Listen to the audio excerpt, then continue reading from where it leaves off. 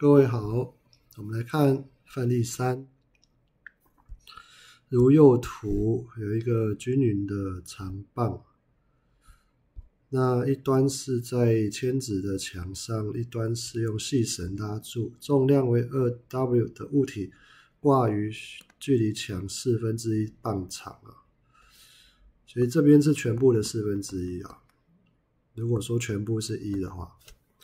那呈现水平的时候，请问墙壁对棒的作用力是多少？这一题就是我们要做静力平衡的分析。那首先呢，先把力都画出来。首先他说它是重量 W 的均匀，均匀的话，它的重量就可以视为在。对称中心啊，就是重心就在对称的中心，几何中心。所以这个是 W 哦，W 作用在木棒上，然后呢还有一个哦，还有一个二 W 也是作用在木棒上。我们在分析这个的时候，都是要先选定主角啊。今天主角就是木棒，那还有受一个力啊，就是绳子的张力啊，其实还有受。受受很多个力啊，啊，就是都把它画出来。一个是绳子的张力啊，绳子的张力沿着这个绳子，一定是沿着绳子的拉力。然后还有啊，还有这个这个枢纽啊，枢纽的力啊。那枢纽的力，这里我们会我们会给它分解啊，分解成水平方向的枢纽的力。还有铅直向的，但到时候再把这两个嘞，用毕氏定理去合成哦。F y 啊，用小 f 好了，小 f y 跟小 f x。那我们取的坐标呢，就是 x 就是向右是 x，向上就是 y。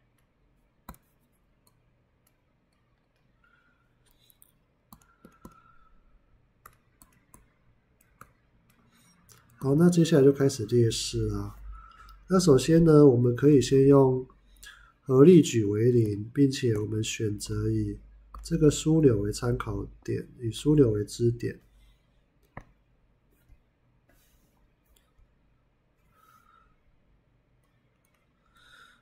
以枢纽为支点。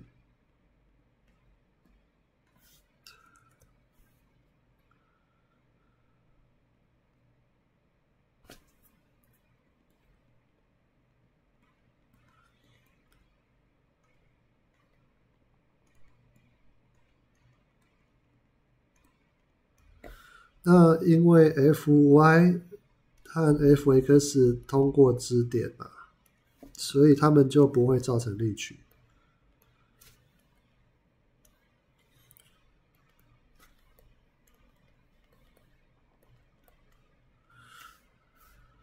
那就会造成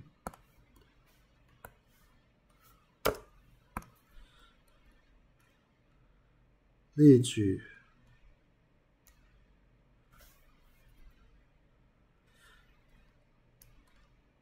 都是零。那唯一有造成力矩的是这个，还有这个，还有这个。那力矩是要乘上力臂。那所以我们可以写说，二 W 的力矩啊是多少？是顺时针，对不对？因为它相对于这个点，二 W 是这样向下拉的，所以是顺时针。让它像顺时针的转，那就是四分之一 L，L 是全部啦，L 是全部的棒子长度，这是力臂乘上二 W 啊，这个是我们的二 W 的那个力矩的造成的力矩。那 W 诶 w 的话则是二 L，二分之 L 乘上 W 嘛，那也是顺时针嘛。那剩下一个 T 哦，T 的话，它斜斜的拉，它斜斜的拉，实际上造成力矩的只有垂直的部分哦，只有垂直的部分。那这个垂直的部分就是 t 的 sin 西塔。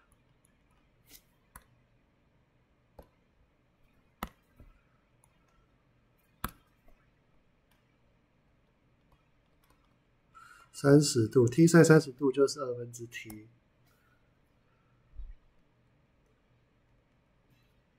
那如果都看大小的话，就会是 l，然后乘上二分之 t。那这三个合合并嘛，t 的话，张力 t 造成的力矩是顺时针还是逆时针？是逆时针，所以会跟另外两个重力造成的力矩抵消哦。所以四分之 l 乘上二 w 再加上二分之 l 乘上 w，就它的大小呢，这就要等于 l 乘上二分之 t，这样我们就可以算出 t 了，t 就会等于二 w，这样子。那么算出 t 了之后要做什么呢？接下来是合力矩为合力为零，那第一个是算合力矩为零，第二个是呃铅直方向和水平方向坐标分解，然后分别去直角坐标分解，然后分别去处理。合力为零，y 方向和 x 方向合力要是都是零啊，它才会静止不动。所以首先呢，我们现在看 x 方向，x 方向有这个向左的力，它有没有向右？有，就是 t 这里，t 有一个分量，就是 cos 西塔。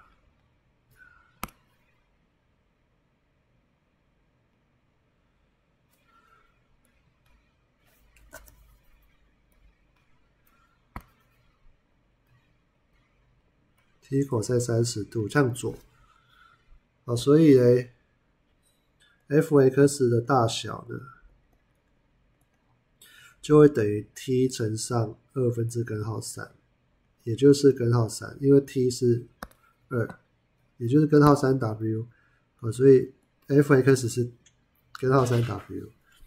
那 y 方向呢？y 方向有向上的 f(y)，还有向上的 t sin 三十度。还有吗？还有向下的，向下的二 w 和向下的 w，这四个要互相抵消。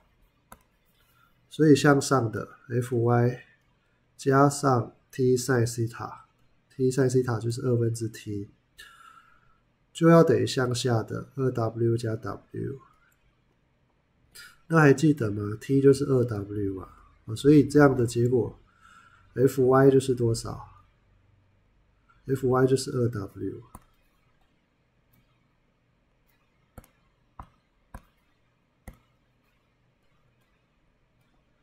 那最后的结果呢？他要问的是枢纽墙壁对于棒子的力，就要把 Fx、Fy 这两个都是都是来自墙壁的力，那这两个平方相加开根号才会是我们要的所求嘞，才会是我们要的。哦，这个梯子受到墙壁的合力 F，啊，所以答案就会是根号三的平方就是三嘛，然后二的平方是四，所以最后是根号七 W，答案就是 A，谢谢。